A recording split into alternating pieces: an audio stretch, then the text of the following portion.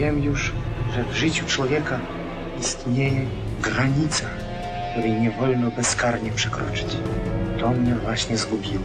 Któż z nas jest bez skazy? Ale to przecież nie ma żadnego znaczenia. Wszystko ma znaczenie. Granica. Tylko w iluzjonie telewizji Kinopolska.